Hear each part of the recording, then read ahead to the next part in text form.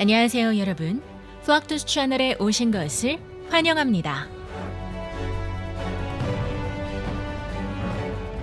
항공모함은 가장 가공할 전력을 보유한 군함 중 하나입니다. 해상 비행기지 역할을 하도록 설계된 이 거대한 선박은 100대 이상의 항공기와 5천 명의 승무원을 수송할 수 있습니다.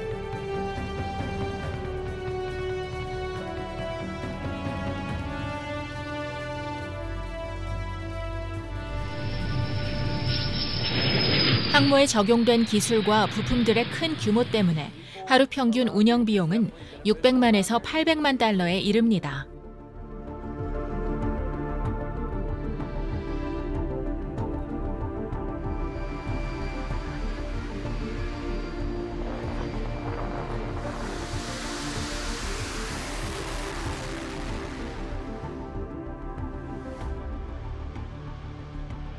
오늘날 운용되고 있는 가장 진보된 해군 함정들 중 하나이긴 하지만 그 역사는 비행기 못지않게 깁니다.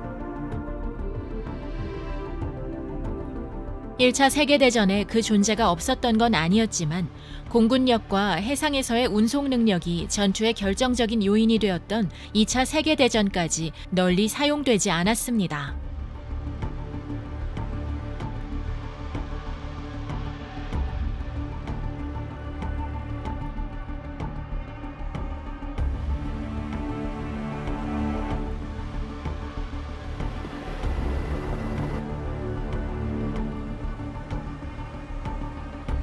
현대 니미츠급 항모의 길이는 1000피트 이상이며 가격은 100억 달러가 넘습니다.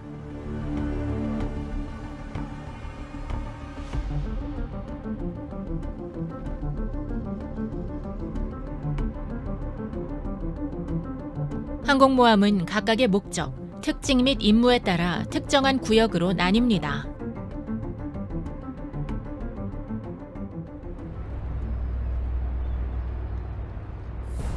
이는 일반 공군 기지와 다르지 않은 특징입니다. 승무원들의 숙소 시설과 하나 이상의 경납고 그리고 비행갑판도 마련되어 있습니다.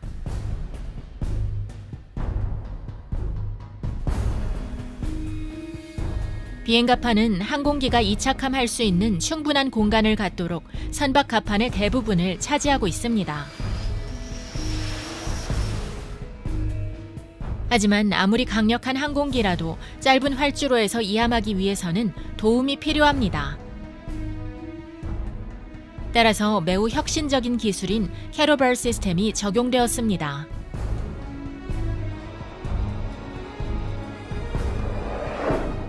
캐러벌 시스템은 증기 또는 유압식 발사 메커니즘을 활용하여 항공기를 짧은 시간 내에 훨씬 더 빠른 속도로 밀어내는 캐터펄트 보조 이륙 방식을 의미합니다.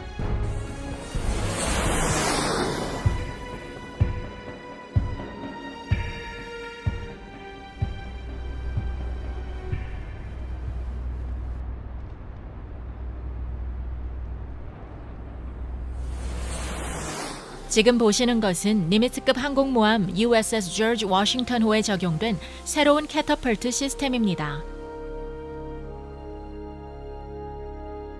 여기 보이는 금속 실린더를 통해 증기가 방출됩니다. 이함시 항공기 착륙 장치에 고정된 셔틀을 시속 150마일 이상의 속도로 앞으로 밀어줍니다.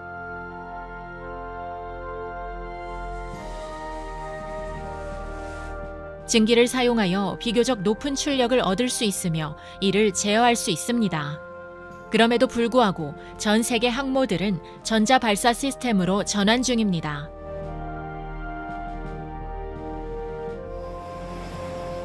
비행갑판 외에도 항모에서 가장 중요한 곳은 버블과 아일랜드입니다.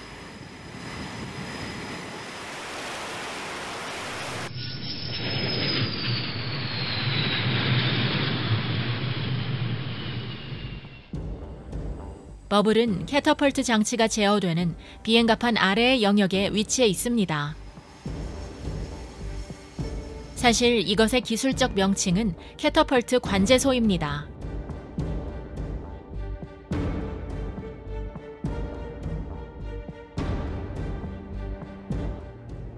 이곳으로부터 승무원들은 안전하게 비행갑판 운영을 관찰하고 통제할 수 있으며 조종사 및 항공 승무원 등과 의사소통을 할 수 있습니다.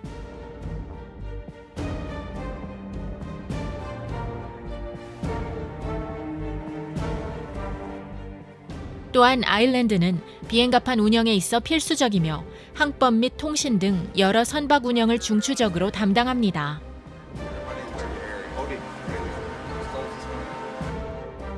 아일랜드는 다층으로 이루어진 구조물입니다. 그곳에는 함교 및 관제탑이 위치해 있으며 항공모함이 임무를 완료하는 데 필수적인 다양한 레이더와 통신 안테나 등 주요 비행 관제 장치들이 갖춰져 있습니다.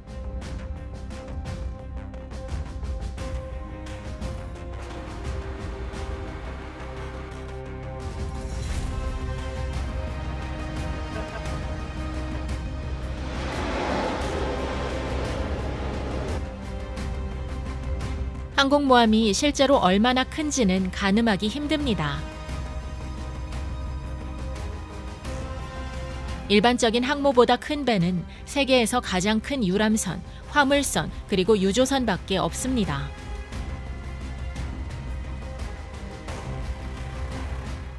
그리고 다른 큰 배들과 마찬가지로 저 속에서 미세한 기동은 불가능합니다. 따라서 항공모함이 얕은 항구나 항만에 접근할 때 그 구역을 제대로 항해하기 위해서 하나 이상의 예인선의 도움이 필요합니다. 이 작지만 강력한 배들은 항공모함을 원하는 위치로 이동시킵니다.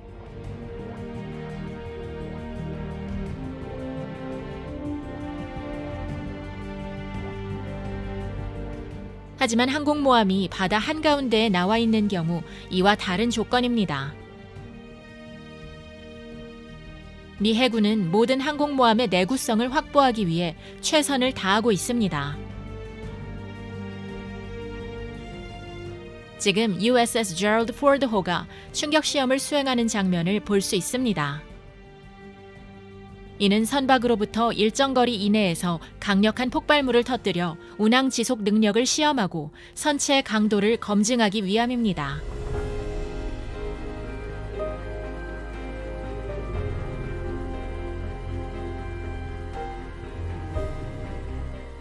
전투는 승무원들과 함정에 큰 부담을 줍니다.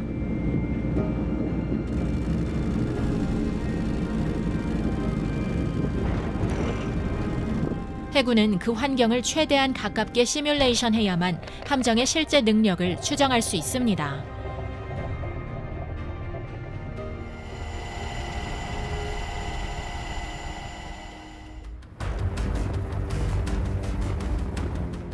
그 크기에 비해 항공모함은 매우 빠르고 역동적입니다. 심지어 적의 함정이나 무기를 피하기 위해 고속 선회 기동도 가능합니다. 실제로 이 항모들은 30분도 안 되는 시간에 700평방마일 내에서 기동할 수 있습니다. 1시간 30분일 경우 그 영역은 6,000평방마일만큼 넓어집니다. 이 영상을 통해 USS Abraham Lincoln호가 고속 선회 및 방향 변경을 수행하여 재빠른 회피 능력을 보유한 것을 확인할 수 있습니다.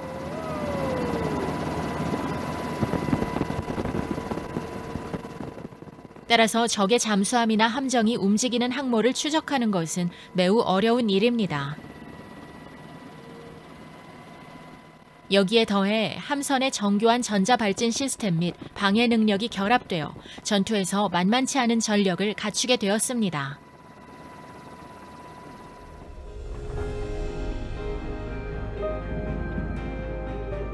대부분의 항공모함은 한 번에 수개월 이상 바다에 머무른다는 점을 알아야 합니다. 하지만 최대 5천 명의 승무원이 이곳에 머무르고 있으므로 이 배들은 때때로 재보급을 필요로 합니다.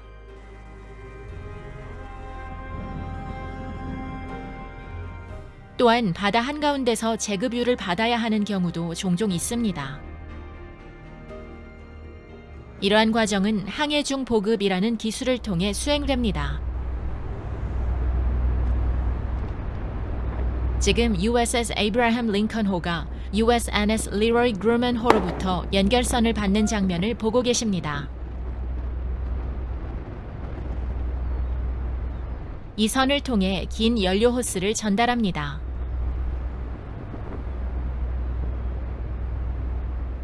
이후 이 호스를 항공모함의 연료 탱크에 직접 삽입하여 두 선박이 동시에 운항 중인 가운데 그루먼호에서 연료를 펌핑할 수 있습니다.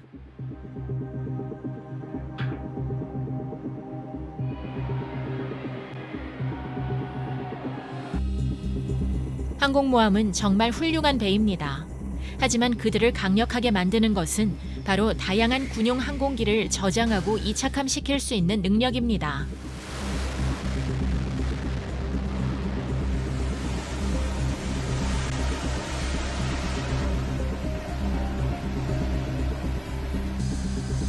또한 함재기 외에도 이들을 무장시키는 데 필요한 모든 군수품도 보관하고 있어야 합니다.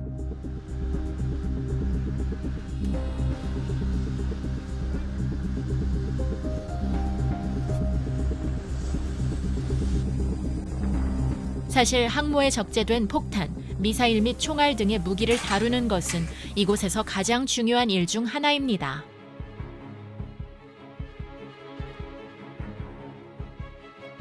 니미스급 항모에서 무기는 주 갑판을 따라 경납고 측면에 보관됩니다.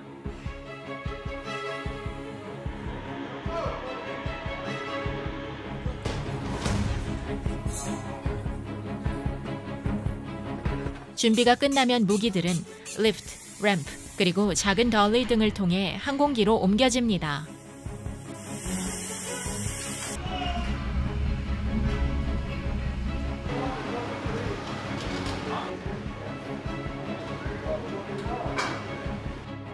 필요한 경우 이러한 무기들을 수정할 수 있는 작업장도 마련되어 있습니다.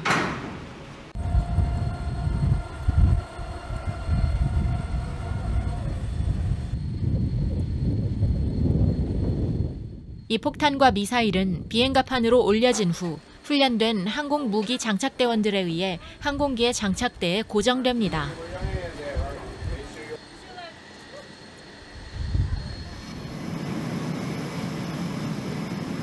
이들은 이 무기들을 제자리에 장착하기 위해 특수 널리를 사용하긴 하지만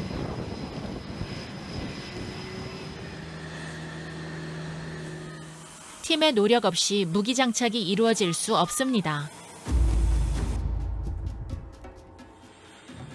상대적으로 작은 크기와 다양한 능력 덕분에 맥도널드 더글라스 FA-18 헐넷 중 하나가 항모의 주력 기종으로 운용되고 있습니다.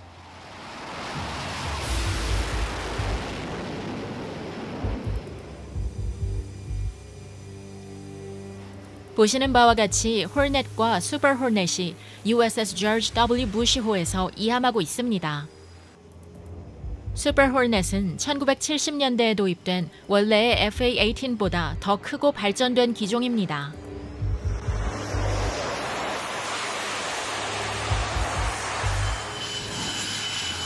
앞쪽 착륙 장치에 캐터펄트 시스템을 고정하는 것을 보고 계십니다.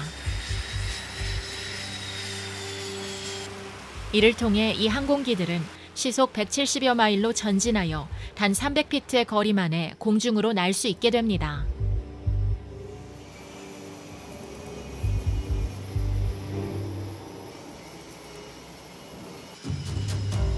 함재기가 발사되기 전 엔진에서 나오는 화염으로부터 승무원들을 보호하기 위해 제트 화염 반사판이 들어올려집니다. 이러한 시스템을 통해 함재기가 비행갑판 끝에 다다랐을 때 이미 비행 속도로 움직이고 있습니다.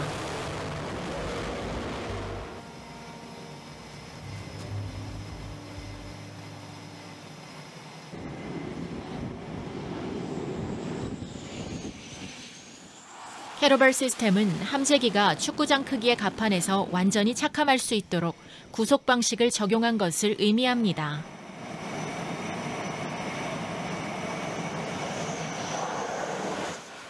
기술적으로 동일한 시스템의 일부이지만 이 구속 시스템은 매우 다른 방식을 사용합니다. 특수 케이블이나 구속삭이 배 뒤쪽 가판 착함 구역에 놓여집니다.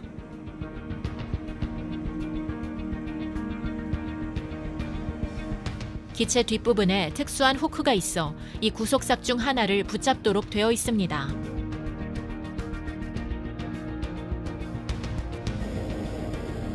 이를 위해 기체의 앞쪽은 위로 향하게 하여 뒤쪽의 후크가 아래의 케이블을 잡기 쉽도록 해야 합니다.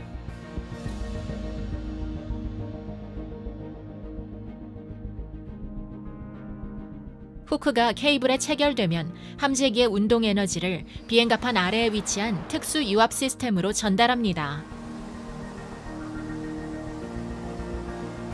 이는 유압 실린더에 연결된 케이블 및 폴리로 이루어진 시스템입니다. 후크가 케이블을 당기면 그 힘이 실린더에 전달되어 이때 발생하는 압력을 사용하여 함재기를 정지시킵니다. 항모의 캐로벌 시스템을 사용할 수 있는 함재기는 FA-18과 같은 소형 비행기뿐만이 아닙니다.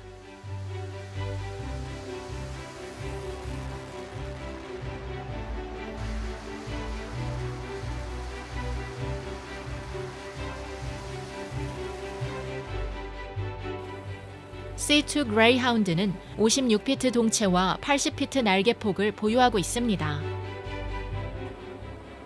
화물 항공기로서 종종 만 파운드에 달하는 장비와 무기를 수송하는 임무를 맡습니다.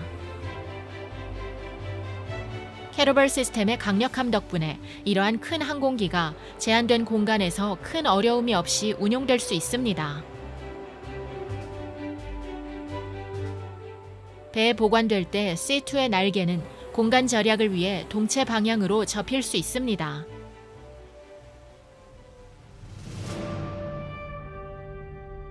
신속한 출격을 방해하지 않게 하기 위해 비행갑판에 보관되지 않는 함재기는 경납고에 보관됩니다.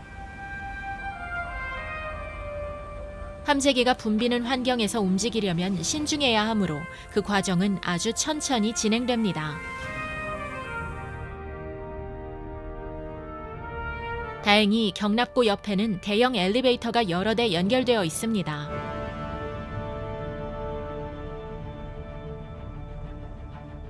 이러한 장치는 이 함을 위해 경납고에서 비행갑판까지 함재기를 올려놓고 착함 후 경납고로 돌려보내는 데 사용됩니다. 경납고는 항공기 정비 외에도 훈련 및 기타 물류 업무를 수행하는 장소이기도 합니다.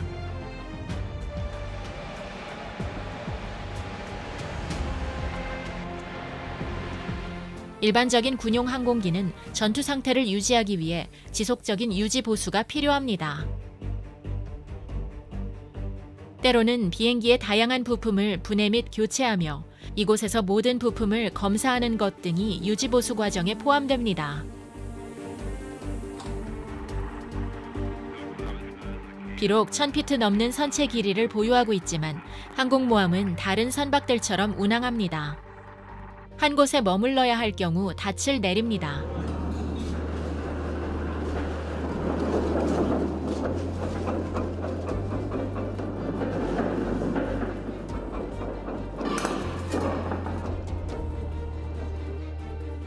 일반 선박들과 유일하게 차이나는 것은 항공모함의 닻은 그 무게만 해도 3만 파운드 이상이며 닻줄은 1400피트에 이릅니다.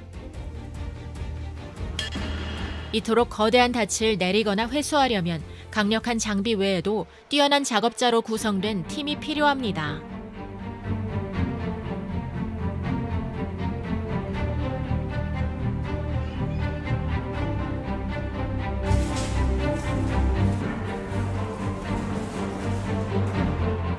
다른 군함과 마찬가지로 항공모함과 이곳의 세부 구역들이 제대로 운용되도록 유지하는 것은 선원들의 노력 덕분입니다.